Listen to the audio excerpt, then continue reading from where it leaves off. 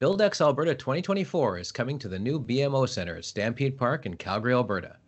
Celebrate Buildex's 25th anniversary in Alberta on October 23rd and 24th with the biggest conference in the province covering architecture, engineering, interior design, home building, and renovation and property management.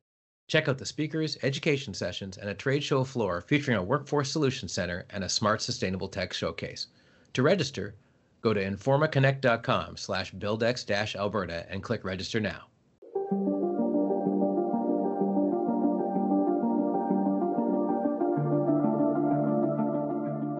and welcome to the Construction Record Podcast. I'm digital media editor Warren Frey, and With me today, I have Richard Florida. Uh, and Richard, uh, you've written a report uh, about Toronto's waterfront. Um, so maybe you could tell me what the report's about in the first place. And then I'd kind of like to go back to the history of the waterfront, which is in the report, explaining the sort of stumbles along the way to what you're recommending now. Well, you know, um, I don't know if it was a year or so ago, maybe 18 months ago.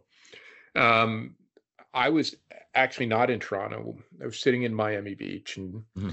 reading kind of a lot of I hate to call it negative. I, I it's it's it coverage that was not exciting me about the waterfront mm-hmm. and mm-hmm. a, a lot of a lot of coverage especially among urbanists we don't need to do any big thing we should make it all a public park it's wonderful the way it was, the way it is. Um, we we don't really need new attractions, and in some of that there was a lot of name calling, mm-hmm. um, and you, you know it was a kind of ugly debate.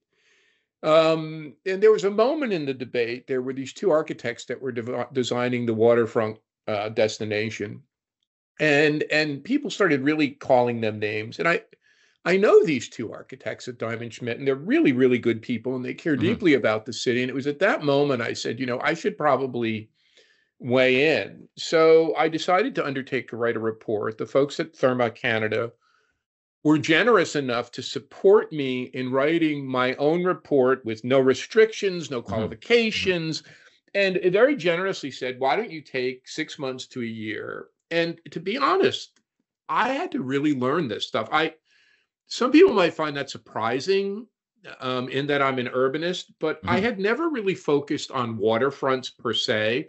You know, my my my pack has been cities, metropolitan areas, and during the pandemic, I learned a ton about downtowns as they mm-hmm. went through this, you know, mm-hmm. shock of first being shut down and then being uh, slow to recover because of remote work. But I I never focused on waterfronts, and I did, you know, a pretty intensive study of the evolution and role of waterfronts in in cities in general and then in significant global cities. And it was really uh, it was a fantastic learning experience for me and i hope hmm. i hope people enjoy the report.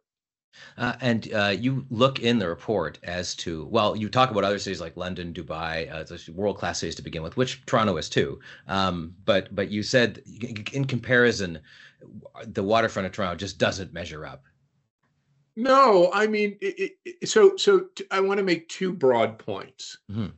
Um, the first one is waterfronts developed as really trade and industrial zones. And you know, if you go back and read Adam Smith ages and ages ago, he talked about the role of the waterfronts in making great productive industrial cities.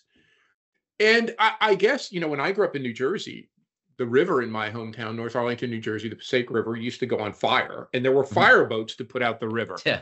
yeah. So they were dump industrial areas, areas to move things, and dumping grounds. It, it pretty much what the Toronto waterfront was originally. Mm-hmm. Mm-hmm. And then as cities um, became more post-industrial, as they deindustrialized, as manufacturing moved away, the waterfronts kind of lay fallow. And I guess that's why I didn't pay much attention. Mm-hmm.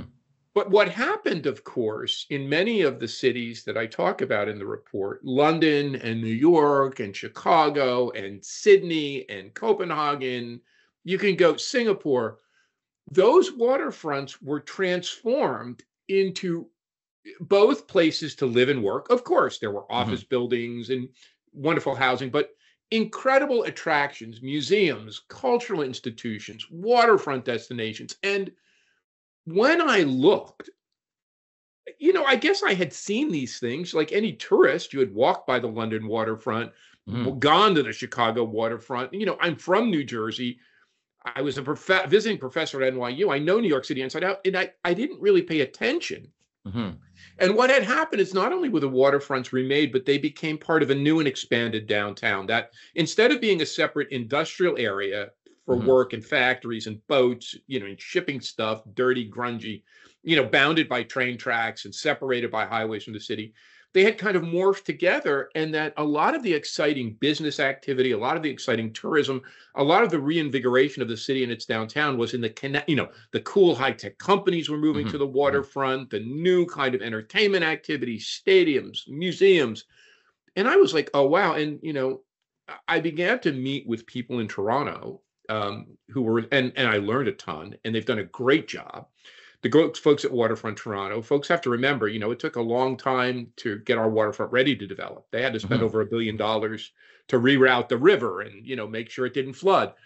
But Waterfront Toronto had been collecting data, and that's one of the data points I used. They had actually gone out and benchmarked Toronto against 10 waterfronts of comparable cities. So they left London and New York out, but they put in mm-hmm. Chicago and San Francisco and Singapore and Copenhagen and Sydney and Amsterdam. And they benchmarked them on some 40 plus indicators. You know do you have iconic architecture? Do you have great public art? Do you have like great waterfront uses? Can you swim? Is there a marina? Is there restaurants? Is there nightlife? Mm-hmm. toronto came in dead last mm, okay. by a huge margin. It wasn't even close you know the top scoring cities say on 42 indicators scored in the high 30s most scored no lower than 25. I think Toronto, I'd have to go to report, but I think Toronto scored a grand total of 9 mm-hmm. putting it in a uniquely lowly category. Um, and and you know, my my assessment was the same. We we haven't done much. And look, if you talk to any Torontonian, they'll tell you, yeah, there's not much to do on our waterfront. So mm-hmm. so the report went through that and went through the history, and then sort of suggests that it's in many ways. I don't want to say this is a bad thing. I think it's a good thing be, because now we have the time to do it right. Mm-hmm. And now we understand what the post-COVID remote work, flexible work, you know, no longer going to downtown everyday city looks like. So mm-hmm. we have an and we have a lot of land to develop, uh, particularly to our west and, and our east. So we have the opportunity to make a pretty spectacular waterfront. And you know, my, my own sense is at least I provide an outline, and we should do it. What What do you think are because they've tried before, not quite at the scale you're talking about, but they have done some development, including the office buildings, and now even with Ontario Place, that's kind of another attempt to do so. So, what do you think are the things holding it back from doing it that the other cities have just done, other than just natural? Well, evolution? I mean, I mean, look in in the year 2000, I believe, and I go through this history. When I was writing the report, I'm like, one moment, I was like, I read this report from 2000 that outlined everything. We need to reroute the river. We need to, you know, get ourselves ready. We need to develop a major entertainment district. We need to have an innovation center with high tech companies. We need to have private funding and attract foreign capital. I'm like, why am I rewriting something that was written in the year 2000? Fair. Okay. It's not like we didn't know this. I think a couple things. Mm-hmm. One, it took a long time to to do the the construction work, to mm-hmm. to do the infrastructural work to get the place ready for development. Two, I think we have a lot of people that are opposed to development that like Toronto the way it was. And you know, you see this. We don't need an island airport. Yes, mm-hmm. we do need an island airport. The more connected a global city is better. We don't need any more destinations at Ontario Place. We should turn that into a park. Mm-hmm. You know, there is this this kind of old school small bore urbanism that says, you know, Toronto is a great city of neighborhoods. That's what we should do. We should all just go to the park and sit and look at the water. And that's and we need more mix and all of that's great. I mean, mm-hmm. my favorite places in Toronto are the ravines where I walk mm-hmm. every day and Tommy Thompson Park where I ride my bike when I can get there mm-hmm. through all the construction that's going on. So I understand that, but but what I've learned is we also and and the other thing is I don't think we I don't I don't want to say we don't have a high opinion of ourselves. Mm-hmm. We're not very Canadian. I can vouch for that. yeah, and I mean I I talk about this in the report. There are great cities to live and work. Mm-hmm. I I think Toronto is one of the greatest. I mean, we're choosing to raise our kids here. Mm-hmm. We get to walk in the school in our neighborhood every morning. We live in a safe neighborhood in a wonderful house on a ravine.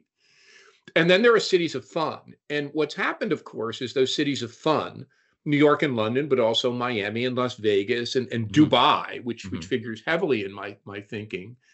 you know, they become more attractive to business. This is the places business wants to go. And cities are not so much anymore about just living and working. I, I talk about this, you know, with colleagues at the Boston Consultant Group. I wrote this big new study, published it in the Harvard Business Review. I said, the old city where you lived and worked every day has mm-hmm. changed mm-hmm. into a new city where, of course, you live and work, but that city is part of not only a physical cluster of commuters, mm-hmm. it's digitally connected to other cities. And the cities that are really really doing well are the ones that are a great place to live and work and a great place to connect and have fun. We've kind of lagged on the fun factor and we've got to up our game. These other cities, you know, the one that struck me was, you know, New York and London came out first in our ranking, but Dubai, you know, and, and Singapore were in the next cluster along with Paris and Berlin and a few others. Mm-hmm. We weren't there. We were in a, a lower category with with with cities that are falling behind. So I think we need to not only have more things to do for our residents, but a big part of what I think the report is talking about, we need to have more things to do on our waterfront for business tourists and mm-hmm. and the you know especially when people aren't going to the work, work every day and our downtown office buildings aren't full we need things i call it the transformation from a central business district to a central connectivity district Mm-hmm. We need to be more about that. You know, since I've written the report, I've been talking to the Hotel Association and folks who work in hospitality and folks who book conventions. We're lagging on all of that stuff. You know, we need to up our game not only for for local tourists and international tourists, which are all down, but if we want to be a global city, we got to be a city of connection and we got to bring in people here from, and that's mm-hmm. where the waterfront can play a role in being an exciting place for conventions and business events and business tourism. So, what are some things? I mean, obviously, hotels and convention centers connected to those hotels would be uh, one of them. But what are some other things that aren't on the waterfront now that could be that would sort of create well, this? And I don't want to, you know, I'm a I'm an urbanist, I'm an analyst, I'm mm-hmm. looking at a very big picture. But if if I had to paint that picture, uh, here's what I would say. We need to make Island Airport the best it can be. That mm-hmm. Billy Bishop Island Airport is a unique advantage for Toronto in that it gives us a place that is connected not just to other Canadian cities, but to New York. Chicago, mm-hmm. Boston, Washington, right on our waterfront, right into our downtown. And when people come there for TIFF or for a convention or for a business event, they're blown away. Mm-hmm. Um, so I, I argue that that should be an example of a walkable neighborhood urban airport Mm-hmm. You know, and and the bit the better that gets, and the more you know quiet jet flights or quiet plane flights it has, the better. The second thing is we need to add attractions. Now, of course, we need more housing, and there's lots and more parks, and there's tr- and that should all be done well in the public realm, and the landscape should be spectacular. But we need more attractions. You know, mm-hmm. when I think about that, other cities have put their museums and cultural centers down on the waterfront. You know, I, I, I the AGO and the ROM mm-hmm. are in great urban neighborhoods, but maybe those neighborhoods should be the places we put the housing and the mixed use work activity. They're mm-hmm. better collected by transit. Maybe over time we should think about beginning to think about relocating as we develop and adding any new cultural institutions. Mm-hmm. Um, it's often argued that we don't have the kind of areas that high tech companies need to develop. This is why I was a big fan of Sidewalk Labs. Mm, I was going to ask about that next. To yeah. set up an innovation cluster, parts of the eastern waterfront and the Portlands with the entertainment areas and the film mm. studios. Digital entertainment should be that. I think sports, you know, on the it's very interesting on the western waterfront right now. We have an incredible cluster of sports activities. You know, we have a couple of stadiums and facilities there. We we have Canadian football. We have WNBA. We have other activities. We have music and entertainment. We need to be doing more of that, making that. I think the waterfront destination, um, the Therme thing, is a great addition. It will be a place that draws in families. The other thing, our convention center is tired. It, mm-hmm. In the future, what if we had a convention center? state of the art on Exhibition Place, connected to what's happening at Ontario Place, where people could walk to that entertainment mm-hmm. cluster. Mm-hmm. And then I think, you know, we we need to think about our stadiums. You know, they're also Rogers Arena, Scotia. They're wonderful, but they're also in neighborhoods that are better served by housing. And off, what if in the future, you know, and mm-hmm. especially if we ever wanted to attract an NFL team, which I think we will, that kind of stuff. So you could begin to dream, you know, over 20 or 30 years of a very different kind of waterfront. Mm-hmm. Great parks, great amenities, great passive uses, great landscape, great trails, but also signature events and amenities connected by an incredible airport. You know, that's pretty Toronto to me. You know, mm-hmm. instead mm-hmm. of just a park with some housing, a dynamic mixed use. And then also, I mean, I don't, you know, when you go to Sydney, what do you see on the waterfront? You not only see an opera house, mm-hmm. you know, with people going to dinner, but you see all of these industrial, you see boats and barges. You know, that's what's neat about our waterfront. It, we we now have the ability with with new kinds of mobility and new kinds of transportation and electric engines and uh, it, it, you can make things quiet. You know the other day I, I flew in to billy bishop from chicago mm-hmm. and the tunnel wasn't working so they put us on the ferry.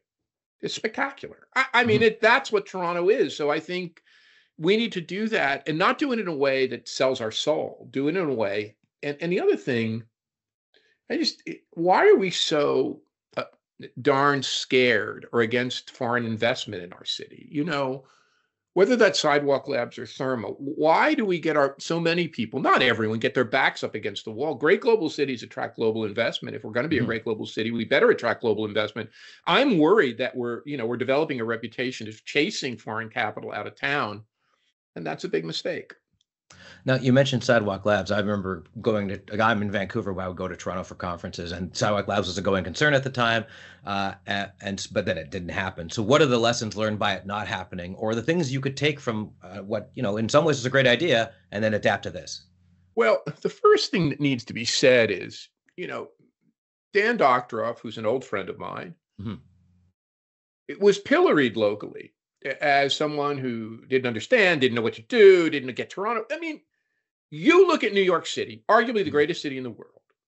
There is no, no one, not even Mike Bloomberg, credited mm-hmm. more with building modern day New York mm-hmm. as a more sensitive, urbanistic version of Robert Moses than Dan Doctoroff. How does this happen? Mm-hmm. How does the same person who, who is who is lauded in New York City as a sit, true city builder who pulled New York City up by its bootstraps, served as deputy mayor, mm-hmm. seen as someone who didn't get Toronto. That, that tells me something. Mm-hmm. The second thing is what was interesting about Sidewalk Labs is that what it was an attempt, and what attracted me to it was that it was an attempt to say to Toronto, we can build a new kind of high tech cluster here. We need to build more high tech industries here. We're we're good at some things, we're not good at a lot of things. But in city building, urbanism, mobility, transportation, new forms of housing construction, new ways of building communities, we could not create a not only build that neighborhood, killed a cluster of the world's leading firms anchored by Google. Mm-hmm. You know, now that's happening in the Bay Area. Now Google's doing that same thing in the Bay Area, out in, in San mm-hmm. Jose with a new neighborhood development, not here. Uh, I think what happened was we just dug our heels in and did our typical oppositional thing and finally wore them out. And they got just tired of fighting us. Hmm. So I think what we, we should learn is we should be a little bit more open minded. Of course, we want to stand our ground. Of course, hmm. we want to say, you know, you want to do things in an inclusive fashion. You want to do things that make Toronto better. We don't just want to turn over the keys to the city. And we have a very good example of that. When we went after Amazon's HQ2, mm-hmm uh, uh, that bid that we developed said to Amazon, if you want to come to Toronto, you have to be a partner and you have to help us. You know, you have to help us build more housing and more transportation. We're not just going to hand you a bunch of money and keys to the city. Mm-hmm. We know how to do it, but yeah, I think the lesson is we have to become more of a partner and less oppositional. Uh, and and hopefully, I think now, I, I sense that we've turned a corner. Maybe, maybe I'm naive, maybe I'm overly optimistic, but I think we're finally breaking I, you know, it's it's not just Toronto. You see it. NIMBYism, not in my backyard. Mm-hmm. Oppositional mm-hmm. urbanism is not in fashion anymore. Mm-hmm. Um, it, it, now people are saying, no, we don't want to develop parking lots and pave paradise, but we, we want to develop and we do, want to develop attractions that fit into an urbanistic environment. And, and I think what we are learning to do because of changes in technology, new kinds of uh, uh all sorts of changes in technology and transportation, that we can build attractions that are no longer noisy and noxious. You know, stadiums ringed with parking lots. Mm-hmm. We, we can build stuff that actually puts major attractions in the middle of a city and major transportation centers in the middle of a city, and it works part as an urban neighborhood. I think Toronto could help show the world how to do that. And we have the we have the template. You know, we have the space to do it on our waterfront. Uh, so finally, if people want to read this report, I think it's it's free to look at. So where would people go to check it out and, and just learn well, about this?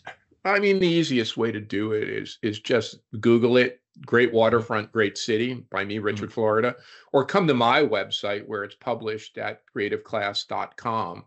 Um, you know, and and and take a look at it. There's also a pretty nice opinion piece. If you want the short version, mm-hmm. just go to the Globe and Mail. Joe Joe Berridge, a really fantastic urbanist, and I uh, put our minds together and wrote a very short piece, you know, 650, 750 words mm-hmm. on the future of Toronto's waterfront. So that's another, the short course version you could look at. Okay, great. Thanks for joining us today, Richard. Thanks for having me. It's a pleasure being with you.